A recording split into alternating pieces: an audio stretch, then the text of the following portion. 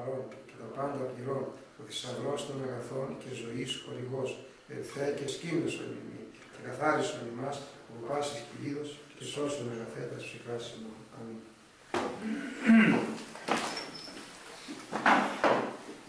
τα θέματα με τα οποία ασχολούμαι εδώ. Ίσως όπως κάθε σε εσάς με θέση, δεν θέλω να είμαι έτσι απλώς. Τα θέματα με τα οποία ασχολούμεθα είναι παρμένα από τις πράξεις των Αποστόλων. Έχουμε ήδη δύο θέματα αφιερώσει και τώρα προχωρούμε στο τρίτο θέμα. Βρισκόμαστε ακριβώς μετά από την επιφύτηση του Αγίου Πνεύματος. Και συγκεκριμένα στην ομιλία του Αποστόλου Πέτρου προς τις χιλιάδες των συγκεντρωμένων κάτω από το υπερό της Πεντηκοστής. Αφού λοιπόν μίλησε για το πρόσωπο του Ιησού Χριστού, ο φωτισμένος από το Άγιο Πνεύμα, Απόστολος Πέτρος, και αναφέρθηκε στα μεγάλα γεγονότα που είχαν διαδραματιστεί τις ημέρες τις προηγούμενες, 50 μέρες πριν. τα πάθη του Κυρίου, στην ταφή Του, στην Ανάσταση, στην Ανάληψη και βέβαια και ότι πρόκειται να έρθει να κρίνει την οικομένη ως κριτής. Αναφέρει η Αγία Γραφή ότι τον άκουσαν και μάλιστα με τα μεγάλης προσοχής. Αναφέρει δε ότι κατενίγησαν τρεις χιλιάδες ψυχές από αυτές, αισθάνθηκαν κατάληξη και ζήτησαν από τον Πέτρο τον τρόπο με τον οποίο θα μπορέσουν να πλησιάσουν τον Χριστό για να γίνουν μαθητές του και να σωθούν. Από εκεί και πέρα θα αναγνώσουμε για να το σχολιάσουμε, όχι εγώ βέβαια, γιατί έχω εδώ τον Άγιο Ιερό Χρυσόστομο, μέσα από εκεί ό,τι σχόλια αναφέρουμε, θα, θα αναφέρουμε. Όμως να ακούσουμε το κομμάτι μέσα από τις πράξεις των Αποστόλων. Ακούσαντες δε κατενίγησαν την καρδία ύποντε προς τον Πέτρο και τους λοιπούς Αποστόλους. Τι ποιήσομεν άνδρες αδελφοί, Πέτρος δε έφη προς αυτούς. Μετανοήσατε και βαπτιστήτο έκαστο ημών επί το ονόματι Ιησού Χριστού, εις άφησιν αμαρτιών. Και λείψεστε την δωρεάν του Αγίου Πνεύματος. Η μην στην η επαγγελία και τη στέγνη ημών και πάση τίσης μακράν όσους αν προσκαλέσετε Κύριος ο Θεός ημών. Έτερος ετέριστε λόγης πλοίωση διαμαρτύρετο και παρεκάλλη λέγουν σώθητε από τις γενεάς της σχολιάς ταύτης. Ημένων ασμένος αποδεξάμενοι των λόγων ευαπτίστησαν και προσετέθησαν τη ημέρα εκείνη ψυχέ ως ή χίλια. Μία μικρή ερμηνεία πάνω σε αυτό. Αφού άκουσαν τον Πέτρο τον Απόστολο να τους μιλάει για το σταυρωθέντα Κύριο και τον αναστημένο και αναλυθέντα, τότε αισθάνθηκαν κατάνοιξη στην καρδιά τους και είπαν στον Πέτρο και στους λοιπούς Αποστόλους τι να κάνουμε άνδρες αδελφοί; Και ο Πέτρος τους απάντησε μετανοήσατε και ο καθένας σας να βαπτιστεί στο όνομα του Κυρίου Ιησού Χριστού της άφησης αμαρτιών και θα λάβετε τη δωρεάν του Αγίου Πνεύματος.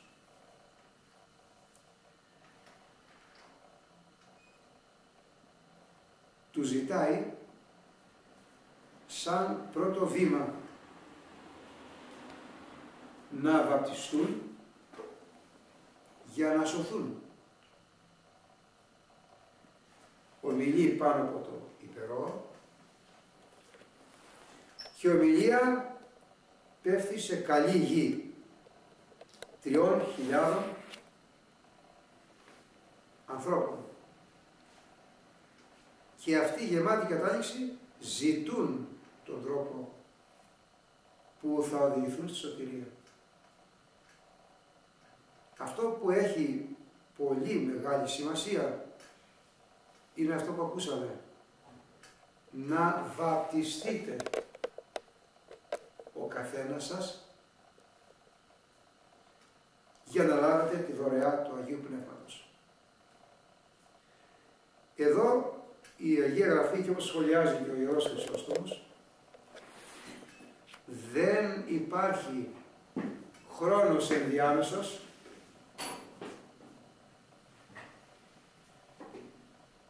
που να έχει προηγηθεί για κατήχηση. Αυτό που, καλησπέρα, αυτό που συναισθήθη, που, αυτό που ζήτησε ο Απόστολος Πέτρος ήταν να βαπτιστείτε και να γίνετε μέλη της Εκκλησίας του Χριστού και έτσι θα σωθείτε. Γι' αυτό είναι μία απάντηση για εκείνους που λένε και, άλλα, και άλλες περιπτώσεις στην Αγία Γραφή που αναφέρουν ότι να βαπτιστείτε. Τι να κάνω, ρωτάει ο ευνούχος της βασιλής της Κανδάκης. Έφυγε από τα Αεροσόλυμα, είχε γιορτάσει την εορτή του Πάσχα με τους Εβραίους και γύριζε στην Αιθιοπία και το Πνεύμα του Άγιο καθοδηγεί τον Απόστολο Φίλιππο πίσω από, την, από το άρμα του Υπουργού των Οικονομικών της Βασίλισσας της Αιθιοπίας. Αφού γράζεται, ο Απόστολος Φίλιππος και ακούει ότι μελετούσε ο, αυτός ο επίσημος, αυτό το επίσημο πρόσωπο ανεβαίνει πάνω, του εξηγεί αυτά που διαβάζει και του λέει τι να κάνω να σωθώ. Να βαθιστείς του λέει. Και κατεβαίνει το βαφτίζει αυτομάτως και γίνεται άφαντος. Και αλλού αναφέρεται περίπτωση. Με, πάλι μέσα του των Αποστόλων. Είναι στη φυλακή ο Απόστολος Παύλος, όχι, ο Απόστολος Πέτρος είναι, ε, και όπως είναι η φυλακή κλειστή, νύχτα είναι, οι καταπληγωμένοι και καταβασανισμένοι Απόστολοι ρηγμένοι μέσα στη φυλακή δεν κοιμόντουσαν, αλλά προσεύχονταν, λέει η Αγία Γραφή. Και οπότε εντρεπεί ο φαρμό ανοίγουν οι πύλες μόνες τους, βλέπει ο ο φύλακας, ο δέσμο φύλακας και φοβήθηκε πως είχαν φύγει οι δέσμοι και ακούγεται φωνή και τράβηξε το σπαθί του για να σκοτώσει τον εαυτό του, για να αυτοκτονήσει. Όχι, μην κάνεις κακό στον εαυτό σου. Ακούστηκε από, το βάθο, από τα βάθη της φυλακής μέσα. Όχι από την πόρτα. Και ο δεσμοφύλακας με τον ήχο της φωνής αλλά και με την καθοδήγηση του Θεού οδηγήθηκε στον φυλακισμένο που ήταν ο Απόστολος Πέτρος μέσα. Ή Παύλος, το μυαλό μου δεν μου κρατάει καλά. Τι να κάνω για να σωθώ; Να βαφτιστείς του λέει και εσύ και το σπίτι σου ολόκληρο. Και τους βαφτίζει μέσα σε μια νύχτα όλους. Οι αιρετικοί στο θέμα αυτό όταν θέλουν να αντιμετωπίσουν μια κατάσταση κατά του βαπτίσματος αναφέρουν γιατί είναι ο βαπτισμός; Από πού ως πού. Να μεγαλώσει, να μάθει και μετά να βαπτιστεί. Μα εδώ ο Απόστολος λέει στο, δεσμο, στο δεσμοφύλακα θα βαπτιστείς εσύ και το σπίτι σου. Και βαπτίζονται, λέει, λένε οι πράξεις των Αποστόλων, βαπτίστηκαν όλοι. Παρέθεσε λέει και τράπεζα τη νύχτα εκείνη και οι γαλιάσαντο, λέει η Αγία Γραφή, και ικανοποιήθηκαν όλοι. Πανική. Η λέξη πανική σημαίνει ολόκληρος ο οίκος. Παν οίκος, πανική, ολόκληρο το σπίτι. Είχε γέρους, μικρά παιδιά, νέους, απ' όλα για το σπίτι μέσα. Ε, το βάσμα είναι σωτήριο. Δεν μπορεί να στερήσει η Εκκλησία που βασίζεται στην Αγία Γραφή και στην παράδοση βέβαια, ε, να στερήσει το βάσμα από τα, από τα νήπια. Να λάβετε λοιπόν τη δωρεά του Αγίου Πνεύματος. Και άλλος τρόπος για να τη λάβετε δεν υπάρχει. Παρά μόνο να βαπτιστείτε και να γίνετε μέλη της Εκκλησίας του Χριστού. Αλλά μετανοήσατε λέει έκαστος ημών. Να υποβληθεί σε μετάνοια. Να καταλάβει ότι μέχρι τώρα ήταν έξω από τη μάνδρα του Χριστού και ότι δηλώνει για ό,τι είχε πράξει στο παρελθόν αισθάνεται απέχθεια και μίσος κακό εννοείται και αγκαλιάζει τη νέα οδό το δρόμο εκείνων που ακολουθούν το πρόσωπο του Κυρίου Ιησού Χριστού. Και βαπτιστεί του λέει έκαστο ημών εν το όνομα του Ιησού. Βάζει πού θα βαπτιστούν. Στο όνομα του Κυρίου Ιησού Χριστού. Ο Απόστολος Παύλος που ανέβηκε στον ουρανό γιατί υπηρέτησε τον Κύριο έως θανάτου καθημερινά ανέβηκε στον ουρανό επάνω επάνω. Αυτός μας, μας αναφέρει το εξής ότι το όνομα του Κυρίου Ιησού είναι το όνομα εκείνο που με δύο λέξεις το χαρακτηρίζει το υπέρ παν όνομα. Εκείνο το όνομα που είναι πάνω από, τα, από όλα τα ονόματα. Και σε εκείνο το όνομα λέει, θα γονατίσουν τα ουράνια, τα επίγεια και τα καταχρόνια και ο Άδης. Λέει, ενώπιον αυτού κάμψη θα λυγίσει παν γόνι, κάθε γόνατο, ουρανίων και πηγίων και καταφωνίων. Και μόνο το όνομα του Ιησού Χριστού είναι πηγή σωτηρίας. Άλλωστε, είναι το όνομα εκείνος στο οποίο απευθύνονται όλοι όσοι αγαπούν τον Χριστό. Ειδικά αυτοί που είναι εντεταγμένοι και έχουν δει το μοναχικό σχήμα, το έχουν σε προσευχή νυχθημερών, Κύριε Χριστέ, για του Θεού Λαϊσόν, στο όνομα του Κυρίου Ιησού Χριστού.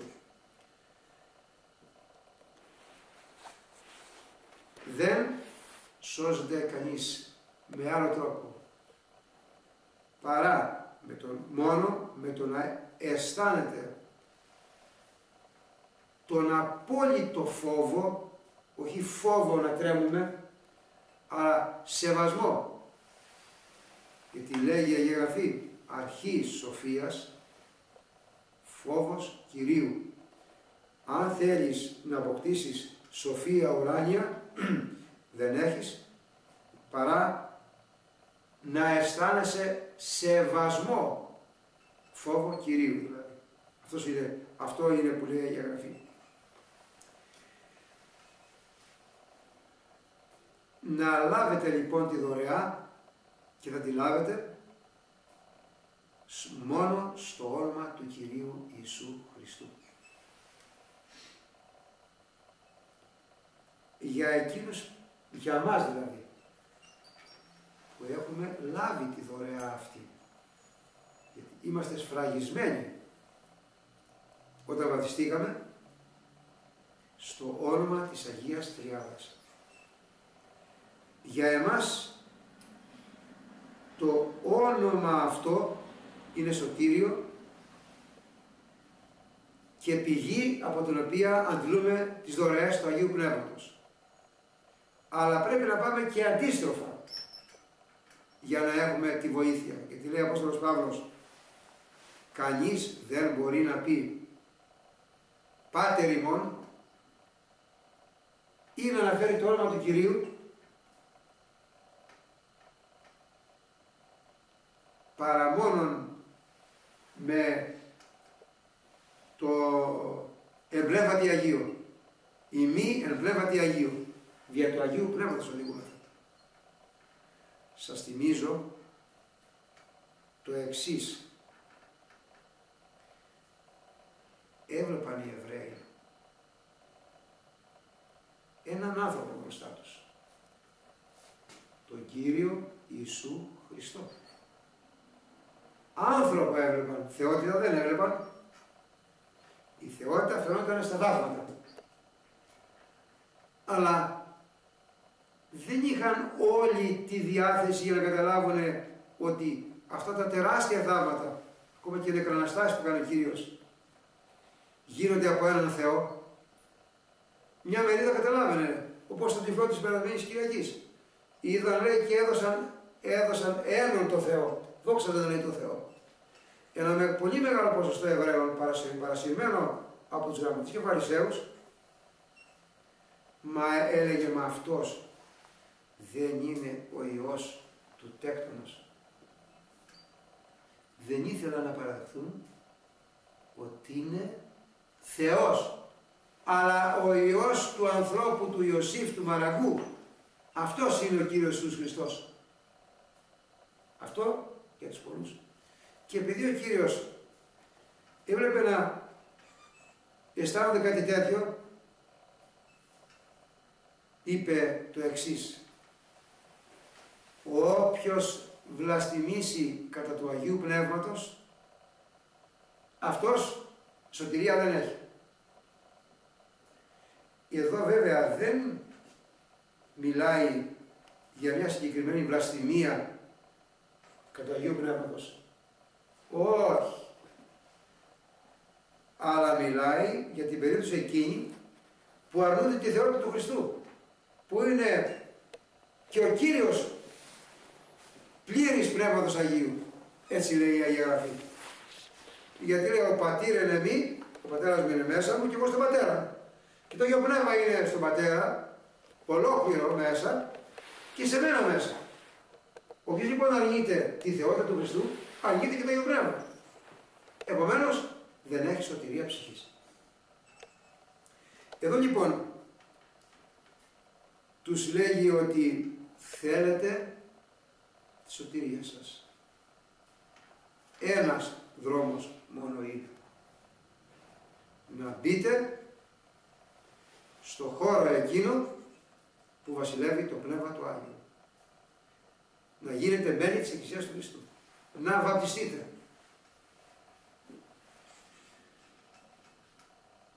Να κάνουμε μια παρατήρηση. Είναι αναγκαία. Με συγκεκριμένο παράδειγμα βρισκόμαστε στο Κοροπή. Θα πάρουμε το στεγανό πληθυσμό, του, αυτοί που είναι εντελώς ντόπιοι. Να αναφέρομαι ότι είναι βαπτισμένοι 10.000 περίπου. Έναν αριθμό αστρογγυλό. Όλοι όσοι βαφτίστηκαν πήραν πνεύμα Άγιο. Κανείς δεν έχει αντίρρηση ότι πήρε πνεύμα Άγιο. Από αυτούς τους 10.000 πόσοι έχουν σχέση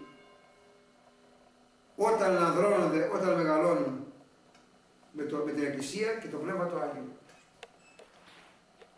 Πραγματική θέση. Εμείς που μαζευόμαστε εδώ και οπουδήποτε αλλού, οι εκκλησιαζόμενοι πιστά, δεν θα πούμε ότι είναι άνθρωποι αγιασμένοι, κανείς δεν το ισχυρίζεται αυτό. Αντίθετα ισχυριζόμαστε ότι είμαστε βρώμικοι, είμαστε μαρτωλοί. Ποτέ δεν λέμε κάτι άλλο από αυτό. Γι' αυτό και πλησιαζόμαστε, γι' αυτό και λέμε στον πατέρα μας, στην Αγία Τριάδα, ερθέ και σκήνωσον εν ημίν, για να μας καθαρίσει από, τα, από τις πληγές που έχουμε και κάποια στιγμή την ώρα που μας καθαρίσει να μας καλέσει κοντά του. Ο Α, ο Β, ο Γ, ένα πολύ, ένας πολύ μεγάλος αριθμός που δεν ε, σχετίζεται με αυτά, που έχει λάβει πνεύμα Άγιο. Άραγε έχει την ίδια συνέστηση και συνείδηση ότι πήρε πνεύμα Άγιο, αφού δεν έχει σχέση, αφού δεν, δεν πλησιάζεται, αφού γίνεται προσχητήριο και πατάει όχι στο προσχητήριο, ακούμε αδέρφια μας να λένε πηγαίνω στην εκκλησία σε καμιά κοινωνική υποχρέωση, σε κανένα γάμο, σε καμιά κηδεία, σε κανένα μνημόσυνο και σε καμιά βάφτιση. Και εκεί η συμμετοχή είναι σαν να συμμετέχουν σε κάποιο θέατρο αν είναι ωραία η νύφη ο γαμπρός, αν γελάει το παιδάκι που βαφτίζεται ή αν κλαίει. Δεν το αισθάνονται για μυστήριο. Όχι. Σαν μυστήριο που θα δείξουν πνεύμα Άγιο, δεν έχουν τη συνείδηση ότι κάτι τέτοιο μπορεί να συμβεί για αυτούς. Ε, έρχομαι λοιπόν για αυτούς τους σκορούς. Δεν αρνείται ο Χριστός να τους δώσει το Πνεύμα του Άγιο, αλλά αυτοί με τις τάσεις του, με τη στάση τους αρνούνται να πάρουν Πνεύμα Άγιο. Και άλλο παράδειγμα. Να, να προσθέσω. Να να προσθέσω. Ο Χριστός λέει έστικα επί την θύρα. Ιδού έστικα επί την θύρα και κρούω αυτή. Εάν της ακούσει της φωνής μου και ανοίξει τη θύρα και επισέρχομαι, θα διπνήσω μετά αυτού και αυτός με μου. Μάλιστα. Ανοίγεις, περνάει. Δεν ανοίγεις, δεν περνάει.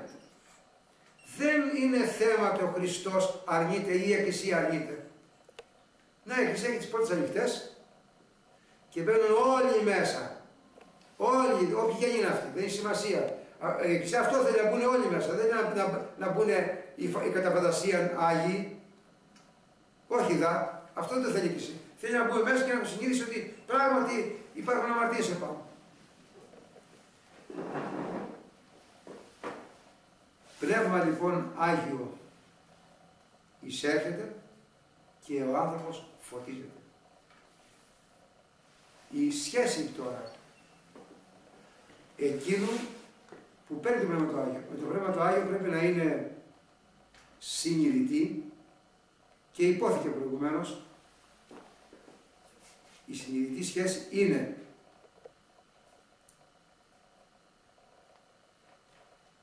αυτό, αυτά που εγώ αναλαμβάνω υπεύθυνο να κάνω ξέρω ότι πρέπει να είναι εκείνα που έκανε ο Κύριος. Ότι δηλαδή σκέφτομαι ότι, ότι πράττω. Το θέλει ή δεν το θέλει ο Κύριος. Αυτό που θέλει ο Κύριος θα κάνω. Και αυτό που δεν θέλει δεν το κάνω. Διαφορετικά, πνεύμα Άγιον δεν παίρνω. Αλλά λέει με το πνεύμα το Άγιο που θα πάρετε και θα γίνεται κληρονόμια αγαθών, έλεγε ο Πέτρος εκεί, σε αυτούς που είχε απέναντί του από το υπερό από κάτω, θα το πάρουμε λέει και αυτοί που είναι κοντά και αυτοί που είναι μακριά, της εγγύς και της μακράν. Απλά η εγγύς ήταν η γη του Ισραήλ. Οι Ισραηλίτες. Όσοι έκαναν αποδεκτό το κήρυγμα του, του Πέτρου. Όσοι δεν το έκαναν, είναι μακρά. Αλλά όχι μόνο αυτοί, και κάποιοι άλλοι που ήταν έξω από το Ισραήλ και που μέχρι σήμερα έξω από το Ισραήλ, που σε αυτούς, σε αυτούς πορεύτηκαν οι Άγιοι Απόστολοι. Γιατί πήραν την εντολή πορευθέντες, μαθητεύσατε πάντα τα έθνη. Σε όλα τα έθνη. Αυτή είναι η μακράν. Λέει θα δοθεί το Πνεύμα του Άγιον και εδώ στο Ισραήλ, αλλά και σε εκείνους που είναι μακράν από το Ισραήλ. Και ακόμη, λέει, όταν θα πάρετε το Πνεύμα του Άγιο, θα σωθείτε από αυτή τη γενεά, τη σχολιά και τη διαστραμμένη. Χαρακτηρίζει τη γενιά σκολιά, βρώμικια. Και ο Κύριος την έχει ονομάσει γενεά μηχανίδα την έχει ονομάσει ο Κύριος. Δηλαδή τη γενιά αυτή στην οποία ζούσε ο Κύριος και δεν απευθύνεται μόνο στη γενιά του Κυρίου. Γιατί από τότε που ήταν ο Κύριος μέχρι τη Δευτέρα Παρουσία μέχρι την παρουσία. Χαρακτηρίζεται όλος αυτός ο χρόνος χρόνος γενιάς που για εκείνους που το δέχονται είναι του, είναι του Κυρίου και οι άλλοι είναι μηχανίδα, η διαστραμμένη γενιά. Εγώ γενεά, άπιστος και διαστραμμένη, έως πότε έσομαι με θυμόν. Και άλλο πάλι λέει, γενεά μηχανίδα. Και εδώ ο Πέτρος λέει σώστε τους εαυτούς σας από την τιμωρία που θα υποστεί η διαστραμμένη αυτή η γενεά. Μιλούσε και για την, την γενιά της εποχής εκείνης η οποία υπέστη τιμωρία. Τι ξέρουμε την τιμωρία που υπέσταν οι, οι Εβραίοι που στάβωσαν τον Κύριο ότι πέρασε ο Τίτο το 70 μετά Χριστόν και ισοπαίδωσε το Ισραήλ. Σύμφωνα με την πρόρηση του Κύριου, την προφητεία, που καφεθήσετε όλα λίθος επιλήθου. Έδινε ο Κύριος τις οικοδομές μαθητάς πρώτο, πρώτο πάθος. Κύριε, κοίταξε λέει τι ωραία κτίρια, έλεγαν μαθητές. Ναι, δεν θα μείνει πέτρα στην πέτρα, είπε ο Κύριος. Και πράγματι, από το 70 μέχρι το 1960 ναι, περίπου, δεν υπήρχε κράτος στο Ισραήλ. 48. 48. Μάλιστα. Λοιπόν, ε, πράγματι η γενεά αυτή η άπιστη που στάβωσε στον Κύριο τιμωρήθηκε. Αλλά χίλιες φορές να τιμωρηθείς εδώ και να κερδίσεις κάπου παρά να μην τιμωρηθείς εδώ και, και να τιμωρηθείς εκεί πέρα. Δηλαδή, να χάσεις την αιώνια ζωή.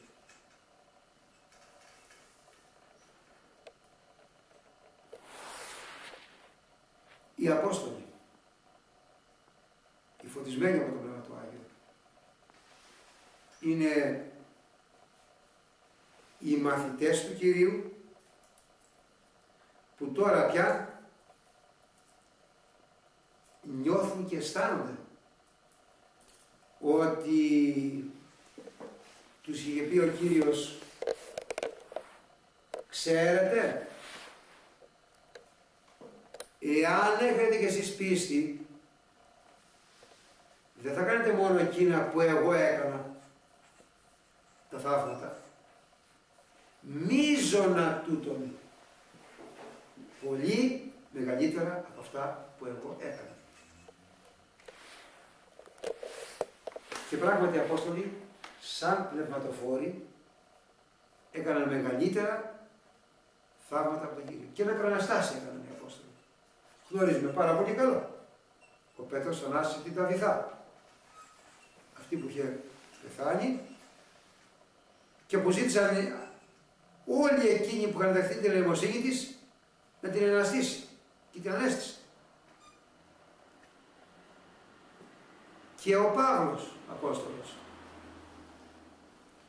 μου διαφεύγει η πόλη στην οποία βρισκόταν που ανέβηκε και κήρυξε μία νύχτα ολόκληρη και έπεσε από το μπαλκόνι ένα, ένας νεαρός ονόματι εύτυχος και, σκοτώ, και σκοτώθηκε. Και ο Πέτρος τον ανέστησε στη συνέχεια. Όχι μόνο εκείνα που κάνω εγώ, αλλά μη ζώνα. Μεγαλύτερα από εκείνα που κάνω εγώ. Μία σύγκριση και ένα σχόλιο πάνω σε αυτό θα, θα μας ε, αφήσει πολύ καλά τα αγνάρια σε σχέση με εκείνα και με εμάς. Δηλαδή, εάν έχετε πίστη, Πνεύμα Άγιο παίρνετε. Αν, αν ανταποκρίνετε η πίστη σε εκείνο που παίρνετε, μίζωνα μεγαλύτερα από εμένα θα κάνετε. Οι μένα Απόστολοι ανταποκρίθηκαν, τώρα στο εμείς, εκεί πια δεν υπάρχει καμία σύγκριση, γιατί θολώνουν τα μάτια μας και παραλύει η καρδιά μας. Να σκεφτούμε ότι μπορούμε να, να κάνουμε σύγκριση εμείς με τους Αγίους Αποστόλους ή με τους Αγίους. Πάντως κάτι φταίει. Και εμείς είμαστε ερπετά εδώ στη γη και όχι πουλιά που πετάμε στους εθέρες. Οι Απόστολοι χαρακτηρίζονταν ως πτερωτία αετή, γιατί διέσχεραν την οικουμένη, χωρίς να υπάρχουν μέσα καθόλου. Δεν υπήρχε τα μέσα τα σημερινά που πετάς και βρίσκεσαι σε πολύ μικρό χρονικό διάστημα όπου θέλεις να βρεθείς και εφόσον μπορείς. Αλλά τότε τα ποδάρια μπαίνουν σε κρίση και τα μικρά πλεούμενα που διέτρεχαν κίνδυνο και στη θάλασσα και στην ξηρά και παντού. Καμία επαναλαμβάνω σύγκριση. Αυτοί άφησαν παραδείγματα θυσίας έως θανάτου.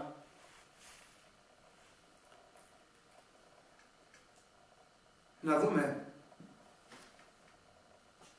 τους Αγίους Αποστόλους και την πρώτη Εκκλησία.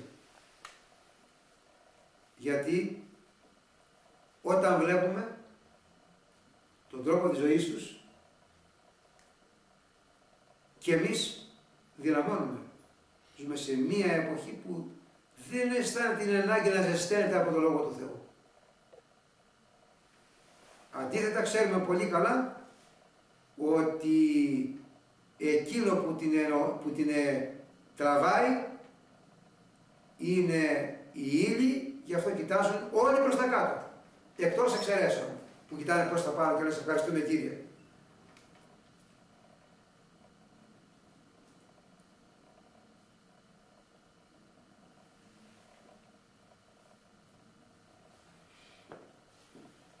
Έχουμε λοιπόν μπροστά μας μία εικόνα ζωντανή.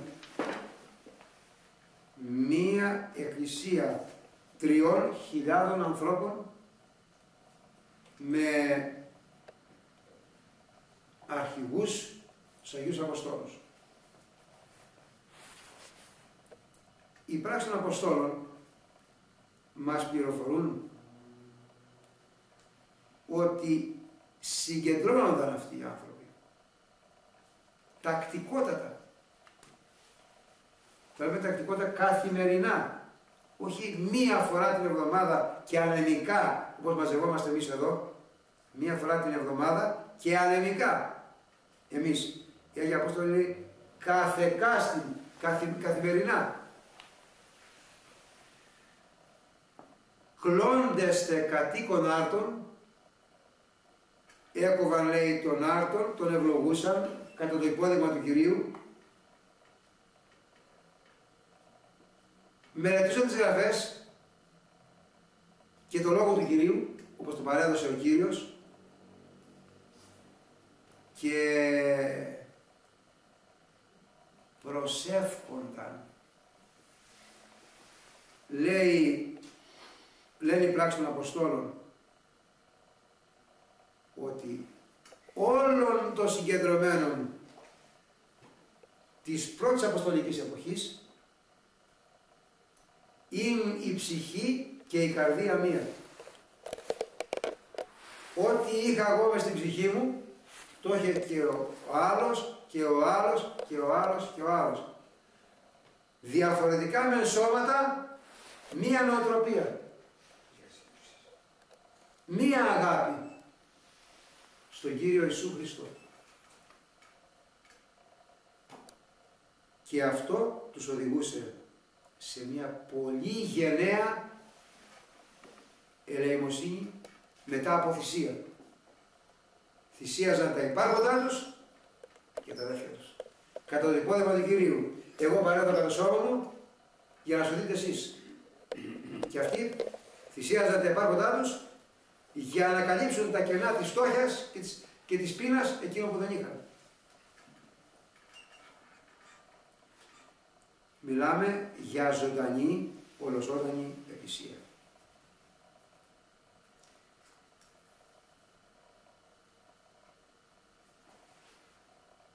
Οι έξω από την εκκλησία έβλεπαν ανθρώπους που πριν ζούσαν ακατάστατη ζωή και τώρα είναι σόφρονες, να είναι γεμάτη σοφροσύνη και αγιοσύνη επάνω τους. Έβλεπαν ανθρώπους που δεν είχαν φοιτήσει σε σχολεία και τώρα να είναι σοφοί. Γνώριζαν ότι ήταν οι συνάνθρωποι τους αυτοί που τους ομιλούσαν και ήξεραν καλά πριν το χαρακτήρα τους. Άλλωστε μην ξεχνάμε ότι πριν κατέβει το Αγιο Πνεύμα είχαν κυριευθεί από φοβερό φόβο και δειλία οι Άγιοι Απόστολοι. Γι' αυτό ήσαν και κεκλεισμένοι στο υπερό, λέει, δια το φόβο των Ιουδαίων, το λέει η Γραφή ίδια. Γιατί φοβόντουσαν τους Ιουδαίους, να τους συλλάβουνε, σκοτώσουν. Βλέπουν τώρα μία εντελώς διαφορετική αλλαγή. Να είναι όχι λαγοί που τρέμουνε, αλλά λιοντάρια που ορμάνε. Αυτή η μεταστροφή τους είχε εκπλήξει. Και, και η συμπεριφορά τους λοιπόν αυτή, αλλά και τα θαύματα που επιτελούσαν, είχαν προξενήσει φόβο στις ψυχές των, των μη πιστών ακόμη.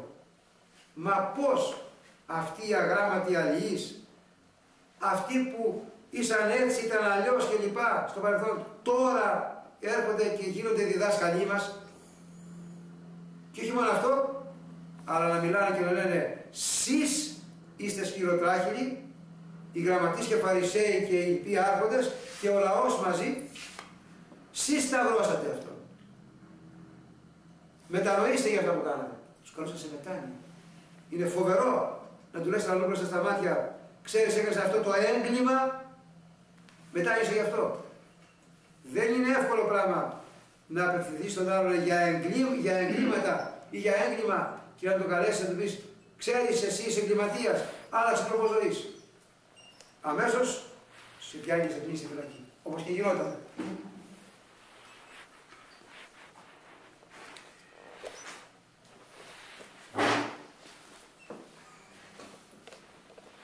Άρα λοιπόν η παρουσία των μαθητών είχε προξενήσει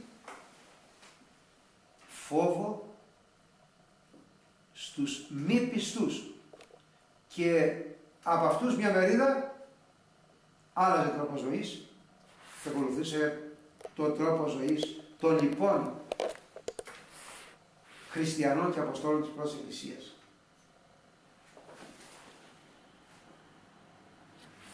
Λέει εδώ ο Ιερός Χρυσόστομος με ποιο τρόπο φέρονταν οι Άγιοι Απόστολοι σε εκείνους που συγκεντρώνονταν για πρώτη φορά μετά από μετάνοια και βάψμα στους χώρους της Εκκλησίας, της πρώτης Εκκλησίας. Λέγει, πρέπει δε να μάθουμε ότι τους έτρεφαν σαν νέα παιδιά με την πνευματική τροφή και αμέσως στη συνέχεια έγιναν άγγελοι. Τέτοια αλλαγή έβλεπε κανείς. Να βλέπει άνθρωπο γεμάτο αμαρτίες και εγκλήματα και να, να παρουσιάσει συμπεριφορά αγγέλου. Έτσι λέει ο Ιερός Πρόεδρος εδώ πέρα. Όλοι δε οι πιστοί έμεναν μαζί. Όλοι δε λέγει όχι ο με ναι και ο δε όχι, αλλά όλοι ναι. Όλοι το ναι του ένα ήταν όλο ναι. Ό,τι ο Χριστός όριζε, αυτό ήταν και το δικό τους έργο. Την τότε εποχή, λέει ο Ιερός Χρυσόστομος, την τότε εποχή, είχε καταργηθεί αυτό είναι δικό μου. Η λέξη δικό μου δεν υπήρχε στο λεξιλόγιο. Το γράφω εδώ και το διαβάζω. Δεν υπήρχε η ψυχρή λέξη δικό μου. Για να το βρω εδώ στον λέει ο Χρυσόστομος. Ουκίν το ψυχρόν ρήμα το εμόν. Το, το παγερό ρήμα δικό μου η λέξη δηλαδή αυτή φοβερή. Αυτό είναι δικό μου δεν υπήρχε τότε. Και το σόν. Δικό μου και δικό σου. Άρα δικό μας. Ανήκε σε όλους. Ο Χριστός δικός μας και τα καθά δικά μας.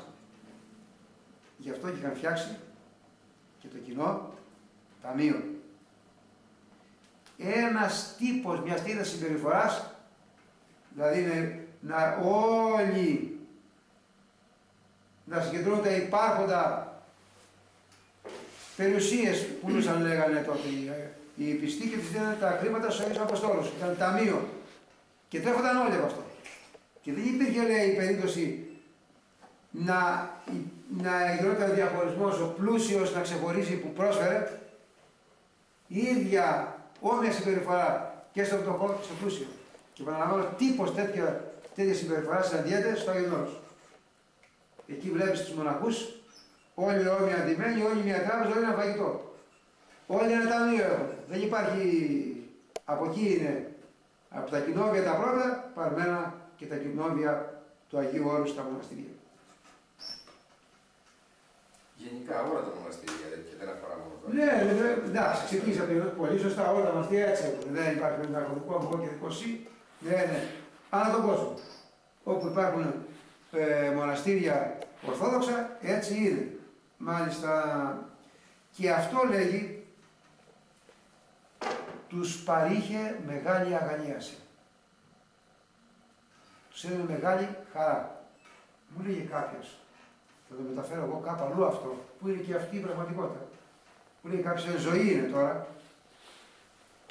Απευθύνω σε μένα. Κώστα δεν έχεις, δεν έχεις αισθανθεί τη χαρά του να δίνεις. Τη χαρά του να δίνεις. Να δώσω τον άλλον. Είναι πολύ ασυγείως μεγαλύτερα από το να παίρνεις. Γιατί ξέρεις κάτι; Δίνεις σε γεμίζει χαρά. Αλλά εκ των υστέρων έρχεται και αυτά εδώ στο πενταταπλάσιο.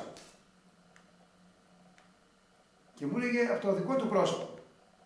Δίνω αυτό, έρχεται διπλό. Δίνω το διπλό, μου έρχεται τετραπλό. Δίνω το τετραπλό, αυτό μου γίνεται σε όλη τη ζωή μου. Και έχω λόγους να πιστεύω γιατί πρόκειται για, για, για σεβαστό πρόσωπο που έχω συνεργαστεί χρόνια ολόκληρα. Επαναλαμβάνω, το ψυχρό ρήμα δικό μου και δικό σου δεν υπήρχε. Για μας, τους σημερινούς χριστιανούς, για μένα, να το πω έτσι, να μην παίρνω σβάλα κι άλλους ανθρώπους, βασιλεύει το ψυχρό ρήμα το δικό μου και η δυστυχία το να αισθάνομαι δυσκολία να δίνω.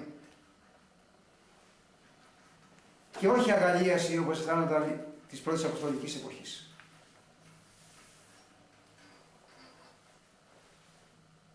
Ας δίνει ο καθένας όχι από λύπη ή από ανάγκη, όχι επειδή λυπάσαι τον άλλον,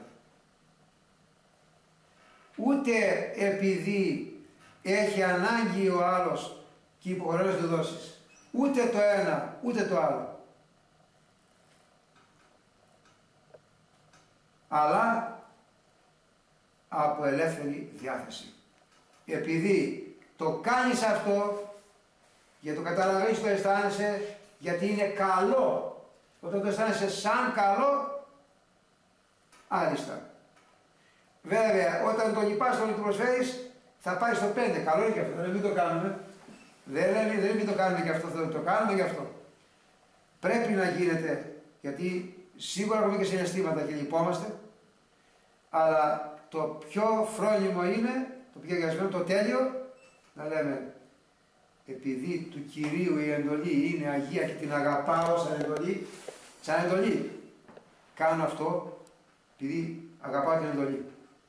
Όχι επειδή άλλος είναι πειρασμένος. Αν γνώριζαν ότι και αυτά που έχουμε δεν είναι δικά μας, αλλά κάποιος άλλος μας τα έδωσε. Του Θεού είναι. Είναι του Θεού ακριβώς. Ναι, ναι. Θα έπρεπε τουλάχιστον, αν μη τι άλλο, να τα μοιραζόμαστε. Γιατί αύριο σε Αλλά παίρνει έλα, και δεν Θεέ έχεις μου. τίποτα. Απολύτως Εντάξει.